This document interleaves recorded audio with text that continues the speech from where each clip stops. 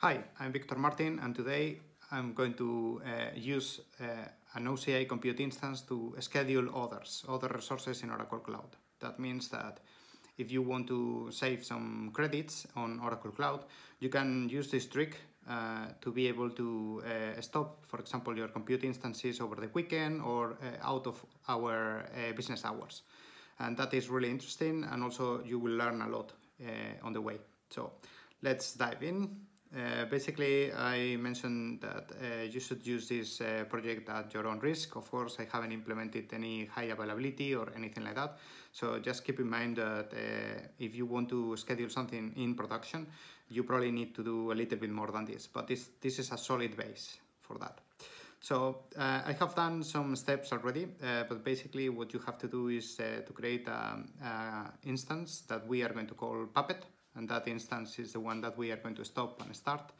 Uh, after that, you can get yourself familiar with the command line. Uh, there is other videos that explain how to configure the OCI, but a nice way to do it is with uh, the Cloud Shell. The Cloud Shell is just a, um, a pre-configured uh, virtual machine, Linux virtual machine that is going to contain all the OCI CLI, kubectl for Kubernetes, and many other tools like Python, JavaScript, uh, all of that is going to be prepackaged for you, so you only have to go there and install it and start playing around. Um, so I have some examples on how to list uh, uh, your instances with OCI, uh, OCI CLI, uh, and just follow those steps, make sure that you can start and stop. So th those are the commands that you can do, let's put it bigger.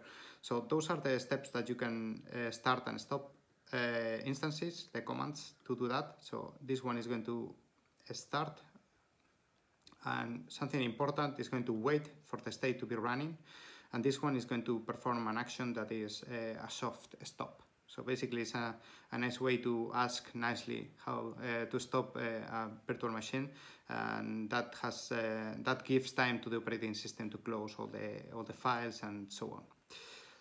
So uh, other thing that we have to do is to create an uh, identity and access management user. So basically this is uh, the user that we are going to use to uh, perform the operations on Oracle Cloud. So start and stop resources. Uh, for that you go to the menu identity users and click create users and uh, you select identity and access management user. So you will go here to the web console of Oracle Cloud menu Scroll all the way down, identity, users, and I already created one user, but you can click the create user and it will look like this. So that is my hand user, the hand that is going to operate uh, on Oracle Cloud to start and stop resources. Very good. So next step, and uh, you have to keep in, in, in, in your notes uh, the Oracle Cloud Identity identifier that is on every resource on Oracle Cloud. So for example, for that user that we just created, we have here the OCID. You can copy from there. That would be as simple as that. You have to also copy uh, the tenancy ID. So now that we are here, we can scroll down in the menu, administration, tenancy details, and in tenancy details, you will have as well an OCID an OCID that you can copy, same way, so nothing different there. The next step is going to be to create a hand, a hand virtual machine that is the one that is going to operate using the hand user. And then we are going to SSH into that machine. I already have that created, so um, the next step would be to install the OCID, the OCI CLI. But in my case, I, I already have this configured. So you can follow the steps that is explained in this documentation, in this link, but it's very easy. You just click enter the most of the time, and then it's going to ask for some users, OCID, tenancy, OCID, etc., etc., things that you know where to find now. And finally, you will execute the OCI minus V, and I'm going to do that just to make sure everything works. So that is my hand virtual machine. I'm going to enter that and it's going to give me the version that I'm uh, executing on this, 2.13. That's good. Let's come back and now we are going to configure it. I already have this configured, so basically you put this value and we have other videos explaining this, but basically I explain how to put all the values and what you need to do. when you finish, it's going to create a private and public key. That is the, the key to be able to talk to Oracle Cloud with security. So that is something that Oracle Cloud should know, at least the public key. So you have to upload it. To upload it, you go to the uh, to your user, in my case the hand user, and you go to the API section, API key section. I'm going to show you that. So in this case, if we go to identity and users, and then click on your brand new user, here, if you scroll down, you will find API keys, and that is your API key that I created. You just upload a new one. Cool. To prove that everything works, uh, I'm going to do uh, an OCI object storage namespace get. So that is going to give me the namespace of the object storage service. And I'm going to pipe that in JQ. That I'm not sure if it's installed in this machine. If not, we can install it. Ah, perfect. So that is the name of my namespace, and that means that we are able to talk to Oracle Cloud through the command line. That's good. Now, it's time to create uh, the scripts that are going to start the instance. So in my case, I'm going to clean this. I'm going to run vim start instance, and then you can copy this code. So keep in mind that uh, we need the OCID of the Puppet instance, so that is something that I'm going to get now. So insert, that's good. I'm going to delete that. And now I'm going to go to the instance, instances, scroll all the way up, compute instances, and now we are going to click on Puppet. And Puppet is going to have an OCID as any other resource in Oracle Cloud. So we copy that, we come back, we paste that value, and now I'm going to save and exit. Cool, we have our first script. Let's come back to the tutorial. We are going to do the same with a uh, stop instance. So let's go back to the terminal, vim and here we are going to do the same. Just copy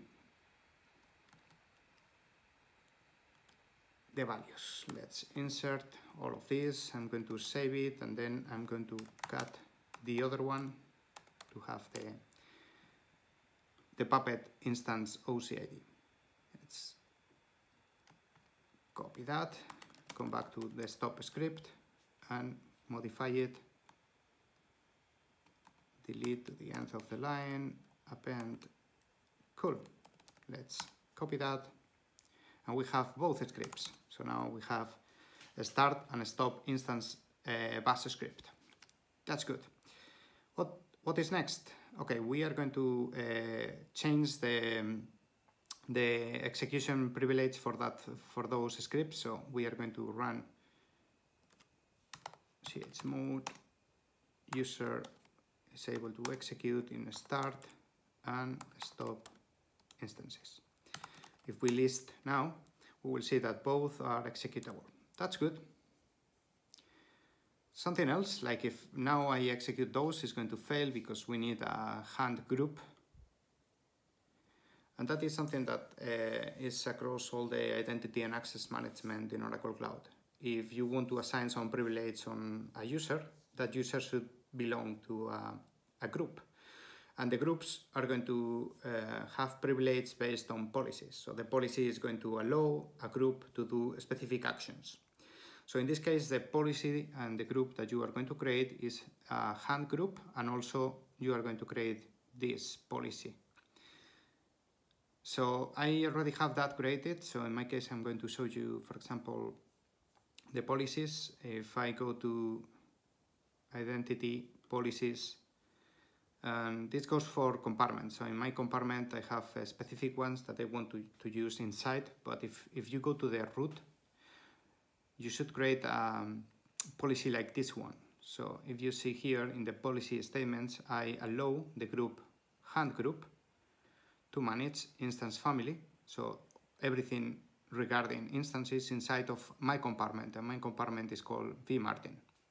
So that is the statement. Of course, for this to work, you should have a group that is called hand group. So if you go to identity and groups, identity groups, and you go to a hand group that you have to create, in my case, I already have it, uh, you have to add the user and my user will be hand. So that's the way to proceed. Let's come back. So when you have done that, you can run the scripts and start and stop the virtual machines. The next step would be to use cron. Cron is a daemon that is running in uh, Oracle Linux uh, and then in Linux distribution. But basically it's a nice way to schedule uh, the execution of specific scripts. So now you, you see where I'm going with this. Uh, we are going to copy this. So this, this script, what it's going to do is to execute at o'clock at 10 and 40 past the hour the stop script. And it's going to start at 10 30 and 50 past the hour the stop the start script. So it's going to every 10 minutes it's going to either stop or start the script. Cool. For that we are going to execute the crontab edition uh, edition mode. So chrome tab minus e enter, and here we are going to insert that.